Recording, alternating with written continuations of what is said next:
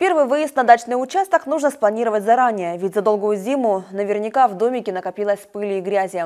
А как садоводство планирует первую поездку для любителей шестисоток, смотрите в следующем материале. Весна идет. Снег, конечно, еще не растаял, но пора открывать дачный сезон. Мы побывали на 111-х дачах и посмотрели, как там происходит подготовка. Есть фирма в городе у нас, э, лесники, у которой директор Мирошин Николай Васильевич – он нам уже где-то 3-4 года никогда не отказывает. Он всегда нам бесплатно гребет эту дорогу, постоянно гребет. Помогает делать винполосы. Ну, то есть э, я от лица, конечно, всех садоводов хочу ему выразить большую-большую благодарность за это дело, что не оставляет частников никогда, а, ну, одних, блин, так говорить. И то есть, ну, Трактора у них большие, хорошие, дорогу разгребает. Здесь, получается, даже две машины могут разъехаться. Сейчас мы дорогу чистим. Уже фирма это, Skyline, она уже на эти выходные, на эти выходные, запустит уже автобус. Мы видим, что начало положено, дорога чистится. Сразу же после дач мы отправились в офис садоводства, чтобы поговорить с председателем.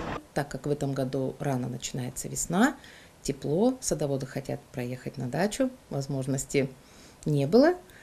Ну вот мы с лиственничеством решили почистить дорогу. Они нам оказывают такую помощь, как бы сказать, ежегодно, за что мы им очень благодарны. Хотя бы центральную. Ну, все остальное, естественно, мы уже самостоятельно. Также Елена нам рассказала о нововведениях. Причем изменения произошли еще в том году. У дачников произошел конфликт с местным ПТП. То маршрут автобуса неудобен, то организация отказывалась возить дачников из-за проблем с железнодорожным переездом. У нас были большие проблемы именно с ПТП, с поездками, с выяснениями, кто за что отвечает.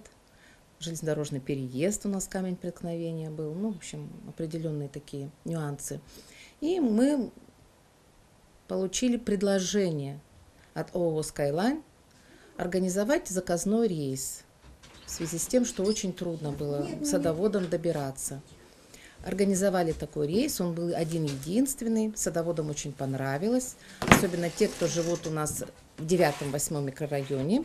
ООС «Онлайн» предлагает удобные, комфортабельные автобусы, возможность уезжать на дачу практически от своего дома, останавливается на каждой остановке, ходит по городу. Эти плюсы, которые выделяют дачники. Первый пробный рейс будет запущен 30 марта.